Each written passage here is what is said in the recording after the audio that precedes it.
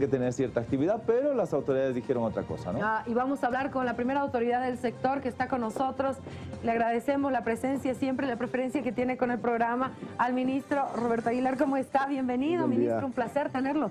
Muchísimas gracias, Priscila. Bueno, usted no tiene vacaciones nunca. Ah, no. usted no tiene las vacaciones de invierno. Ministro, empieza hoy la vacación. Efectivamente, en, en siete departamentos porque Tarija y Pando, de acuerdo a lo que ha dicho la programación, van a entrar el 8, la próxima semana. El resto de departamentos, La Paz, Cochabamba, Potosí, eh, Oruro, eh, Chuquisaca, Santa Cruz, Beni, ingresan eh, este día primero. Hoy primero, pero hay muchos colegios que ya salieron de vacaciones, pero dejaron tarea a los alumnos y hasta donde tenemos entendido está prohibido. Este es un aspecto que se está generando algún debate. Ayer leí en un medio de prensa donde le consultaban a especialistas, psicopedagogos, pedagogos, eh, maestros, eh, si se debe dar tareas o no. Lo que queremos establecer claramente es lo siguiente. Este periodo de suspensión de actividades no se llama vacación de invierno, esa es la tradición por el frío. Es descanso pedagógico de medio año. Así es el nombre que se le ha establecido. Entonces es un descanso pedagógico donde el niño cambia de actividades para que pueda eh, retomar mm, el segundo semestre con una eh, capacidad y una energía renovada. Ese es el objetivo. Y en el caso del maestro de igual manera.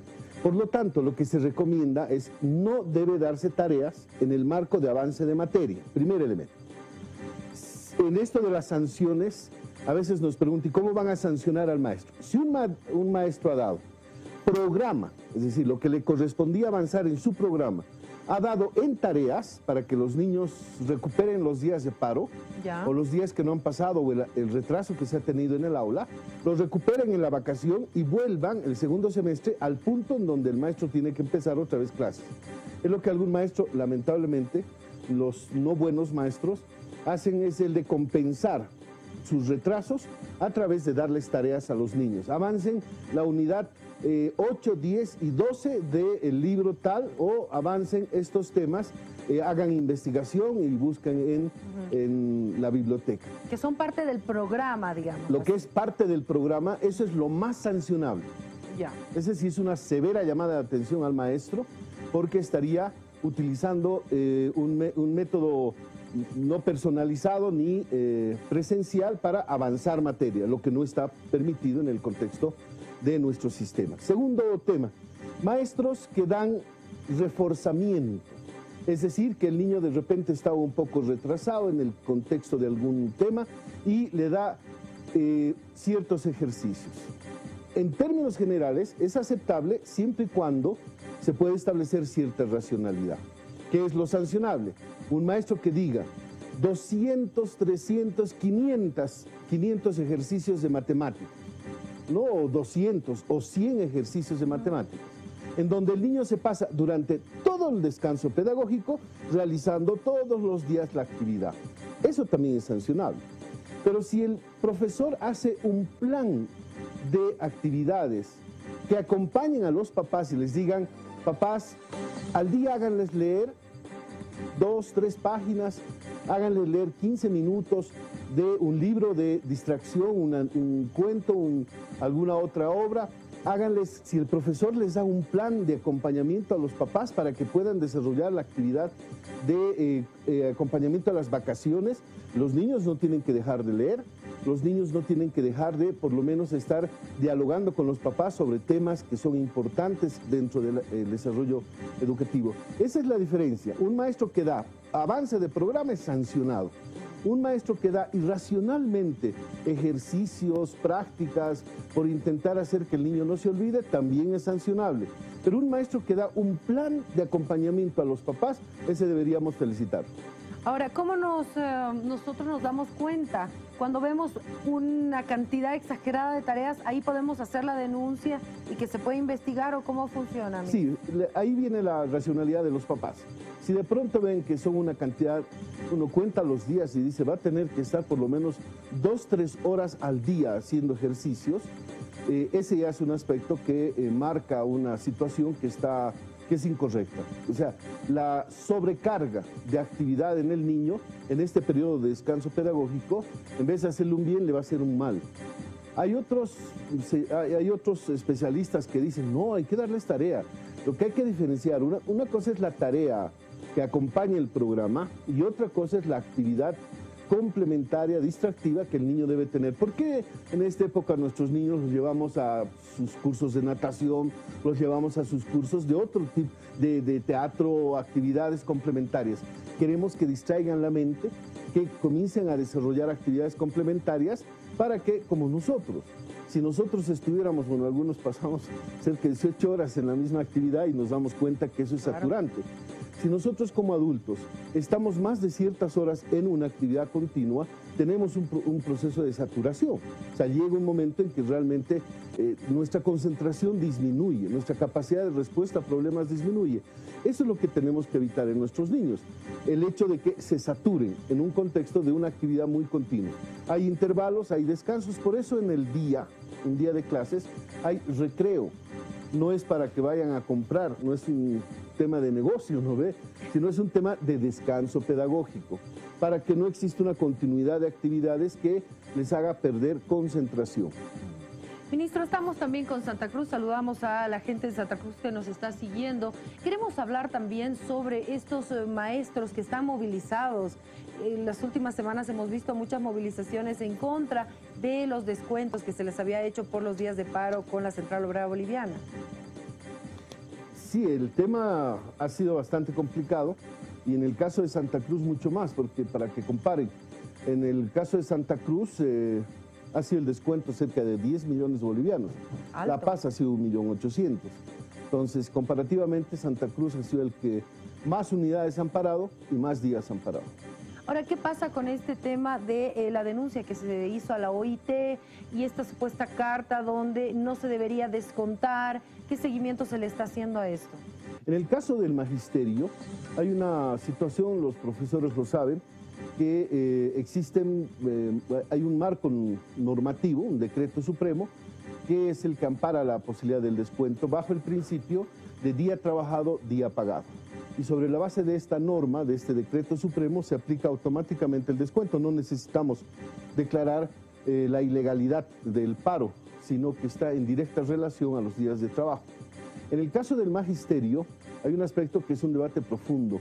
¿Cuándo podemos declarar un paro legal y justo? El dejar de enseñar a los niños en cualquier contexto resulta innegablemente una situación injusta, pero además ilegal. ¿Por qué? Porque se están suspendiendo actividades en un contexto de, eh, o en un sistema en donde los días están contados y suspender un día de actividades implica que el niño va a dejar de recibir formación ese día. Por lo tanto, el contexto de un paro en el magisterio es totalmente injusto y además ilegal en el marco del decreto supremo en el marco del magisterio. ¿No hay posibilidad de una reprogramación de actividades en eh, los colegios, en las unidades educativas por estos días de paro? El principio que se ha estado estableciendo no, eh, porque tenemos situaciones que, o sea, nos llevarían a, si paran un mes, un mes de compensación llegaría un punto en donde la actividad mm, o los días del año no nos alcanzarían para compensar los días potencialmente eh, de paro que pudieran tener. Por ello es que bajo este principio de día trabajado, eh, día pagado, es que se aplica eh, el pago de los maestros. Es lamentable, es innegable que para una familia y en el caso de mm, algunos maestros han recibido descuentos de 13 días ah, como máximo. Este es un aspecto que afecta al presupuesto familiar, pero esta es una, situación que se ha definido que no vamos a modificar. El día parado por una actividad no programada eh, debe ser necesariamente sancionado. El monto que se los ha descontado, hasta donde tenemos entendido, tiene que ir a eh, la utilización para nuevas unidades educativas, material y qué sé yo. ¿Se ha destinado ya este monto de dinero? Tenemos... ¿O cómo funciona? De lo que eran los paros anteriores, hasta el año 2009, eh, se tenía un monto acumulado de los años anteriores.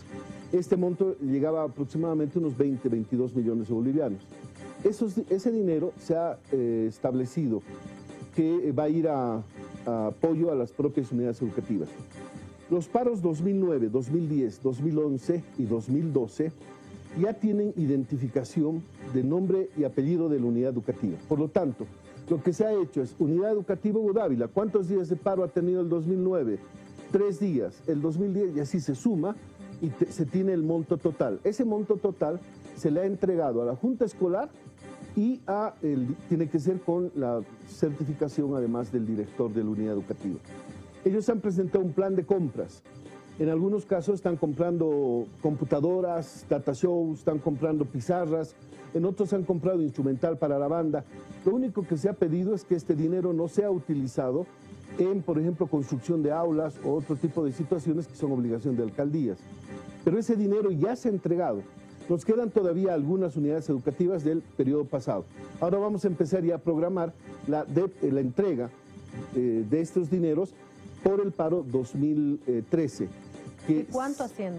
22, mil boli- eh, 22 millones de bolivianos. 22 millones de bolivianos. Este año ha, ha habido un impacto mayor que los cuatro años anteriores juntos. Wow, sí, la diferencia es... Es muy Y grande, es un solo año. un solo año. Bueno, eh, se nota entonces la cantidad de maestros que han sido afectados también por este descuento. Por lo menos estamos calculando cerca de 70 mil maestros. Es, es la, el- el- la vez más, el paro más amplio y de, de días y de cantidad de maestros que ha habido. ¿Y esto por qué? Y aquí voy a ser muy franco. ¿Qué hacía la Federación de Trabajadores de Maestros Urbanos de La Paz? Llevaba los libros de asistencia a la Casa Social del Maestro y los ponía en hilera. ¿Para qué? Para que los maestros tengan que ir a firmar ahí y salgan inmediatamente en marcha. Pero al mismo tiempo se ha establecido, ¿y por qué los, días de paro? Nosotros hemos eh, verificado que ese libro firmado, porque aparecía como incluso un hecho irregular, porque aparece firmado como si hubieran pasado clases, pero en los hechos estaba en la casa social del maestro marchando. Hemos verificado con la Junta Escolar y le hemos pedido una certificación al director de, eh, del distrito. Con estas dos verificaciones hemos establecido los números exactos de eh, día de paro que ha habido. En algunos casos, lamentablemente, se ha producido algún error y este error se está eh, inmediatamente haciendo la devolución. Nos decían, les han descontado a las profesoras que estaban con descanso de maternidad. Nosotros tenemos una planilla en donde están registrados todos estos casos. A esos casos no se les descuenta. A los porteros que viven en, los- unidades educativas no se les descuenta. Y así sucesivamente, bajas médicas, etc. Si algún maestro estaba con suplencia que no comunicó a la dirección distrital, a ese maestro sí se le ha descontado, porque ese tenía que haber sido registrado en eh, la dirección distrital.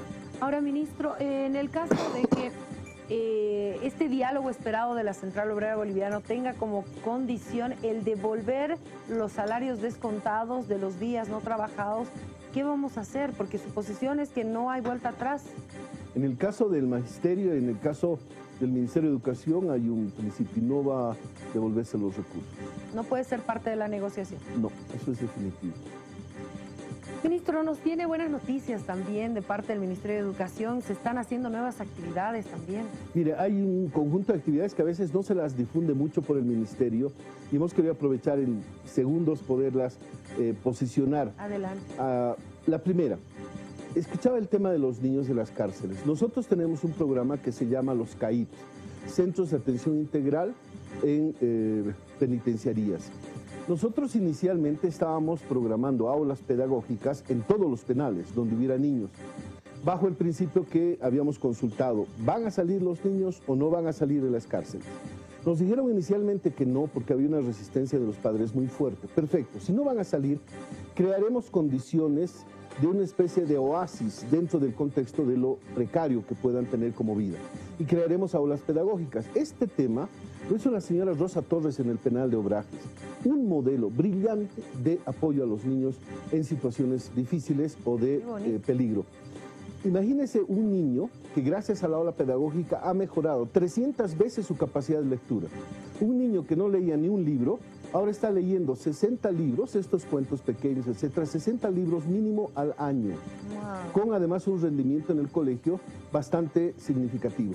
Esto queremos hacer en todos los penales. Tenemos los recursos, hemos comprado computadoras, las mesas, los, eh, todo lo que se requería, pero estamos esperando que se defina. Si no van a estar los niños en las cárceles, vamos a, que es innegable que no tienen que estar, esa es Claro, una situación, así es.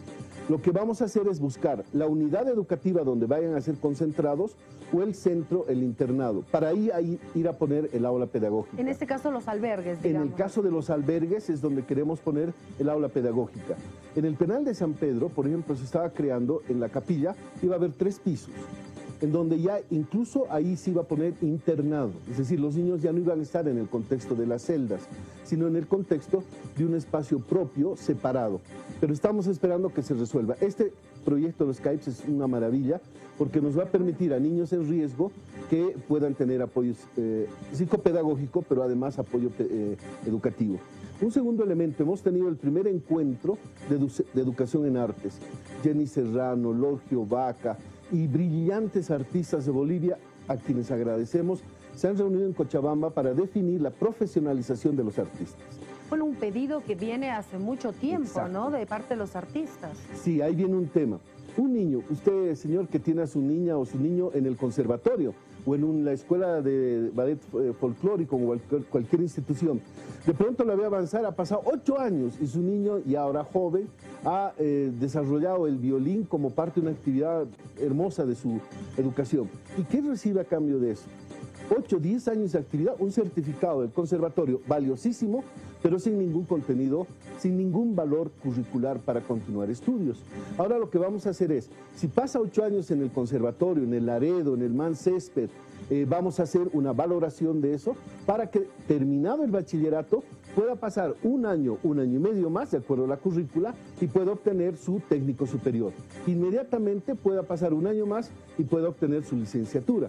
Dentro del marco de, las, de los rangos de eh, la currícula, que un niño que ha pasado 8 o 10 años de estudio de música puede obtener una licenciatura en tiempos mucho más cortos, la Wow. titulación en este caso. Pero también el reconocimiento a artistas prominentes que eh, han desarrollado de manera autodidacta su formación. ¿Qué hacemos con ellos? ¿Cómo trabajamos? ¿Cómo Claro, con los los que ya reconocemos? cumplieron todo eso, ¿no? Este es un espacio que va a terminar con el sistema de educación en artes. Escuelas superiores que van a dar licenciatura, los centros e institutos técnicos que van a dar eh, eh, formación técnico superior y técnico medio, y el bachillerato técnico acompañado de actividades artísticas. Nuestra AMBA, nuestra escuela de eh, nuestra Academia de- Nacional de Bellas Artes, que ahora ha estado con unos conflictos internos en su dirección. Queremos fortalecerla, queremos hacerla un centro de referencia en el arte, igual que las otras en el departamento. Este es un tema, educación en artes. El segundo tema importantísimo ha sido la primera reunión de talentos extraordinarios de Bolivia, de potenciales genios de eh, Bolivia. Eh, niños brillantes, jóvenes brillantes, eh, un joven que tiene una capacidad de desarrollar y resolver problemas de física, química eh, y astrofísica, pero con una rapidez que hay que fortalecerlo y apoyarlo. ¿Cuándo fue esto, ministro? Esto fue el día eh, viernes y sábado que se han reunido en la ciudad de La Paz. Han hecho una red de niños eh, de, con talento extraordinario y a partir de ahora nos viene la tarea. Acompañarlos y apoyarlos. Por ejemplo, si un niño demuestra que tiene capacidad eh, por encima de lo que es su eh, eh, curso normal, tiene la posibilidad de, va a tener la posibilidad de avanzar los cursos en el marco de lo que es su capacidad de solución de problemas y su conocimiento. Ese es un tema bien importante porque a un niño que tiene talento extraordinario, dejarlo en su curso es predestinarlo a Antes que era pierda. muy difícil eso, ¿no? Sí, porque hay, hay veces confusión. Yo me acuerdo de un papá que me decía, pero mira mi niña, mi niña ya sabe todas las capitales del mundo, de cuatro años, cinco años aproximadamente. Cuando uno hacía el cambio de, de la rutina, eh, resultaba que la niña había aprendido de memoria, una memoria fantástica, brillante, pero no era talento extraordinario. Entonces hay que diferenciar eso. Y el último tema que creo es importante comentarles, se ha iniciado el eh, Profocom, el programa de formación complementaria en su segunda versión, su segundo grupo, su segunda fase. El primero estaba, y ha vencido el primer año, estaba con 44 mil maestros capacitándose. Ahora han entrado 61 mil. Tenemos el programa de capacitación de maestros más grande, creo que del mundo. al mismo tiempo. Son 110 mil, 105 mil maestros capacitándose para la nueva currícula y para obviamente incorporar los nuevos enfoques. Y mire, esto me regaló una maestra que eh, me encontró en el Profocom, estrategias metodológicas para el desarrollo curricular. Esto es lo que hacen en el Profocom. Va un facilitador, les entrega el módulo y a partir de ellos agarran un tema. Este es el plan de clases multigrado, números naturales con objetos de su entorno. Y comienzan ellos a identificar, usted puede ver acá si de repente puede ver eh, cómo identifican, por ejemplo, huertos escolares, cómo hacen para desarrollar ciertas actividades prácticas que son propias de su región. ¿Para qué? Para que aprendan números naturales cultivando hortalizas, números naturales cultivando verduras. ¿Y esto lo hacen los propios maestros? Los maestros, es parte del Profocom. Lo que ellos tienen que hacer es desarrollar esta actividad de aplicación. Antes eran números, niños, vamos a ver números naturales, pizarra y avance. Ahora, hacen la pizarra, pero inmediatamente les lleva a aplicar el concepto de números eh, naturales en el contexto de la práctica. ¿Se ha ya implementado 100% esta nueva currícula este año? Estamos en, yo calculo un 60%. Eh, nos falta todavía elementos complementarios en lo que va a ser el sistema de evaluación final, que eso lo vamos a ver hasta fin de año, y algunos otros elementos que eh, son propios de un proceso de implementación nueva. Imagínense esto que antes el maestro de repente no hacía de manera cotidiana, este es un aspecto que para nosotros es eh, novedoso, pero para el maestro mucho más. Entonces, para el próximo año, el maestro que ha pasado su primer año aplicando esta forma, esta metodología, ¿qué es lo que hace? La teoría debe aplicársela en el contexto. Ese es el principio básico. ¿Para qué? Para que el niño cuando salga de clases sepa que se está llevando los números naturales en su mochila, pero que vaya a su papá y le va a decir, tú sabes que los números naturales se aplican para esto, para esto y para esto, y ese proceso se convierta en el mejor mecanismo de mejoramiento de la calidad educativa. Ministro, queremos agradecerle por haber estado con nosotros, darnos buenas noticias también en el área de educación y que se está trabajando en ello. Muchísimas gracias Priscila y a todo el equipo de Levántate Bolivia. Gracias. Continuamos con más deportes.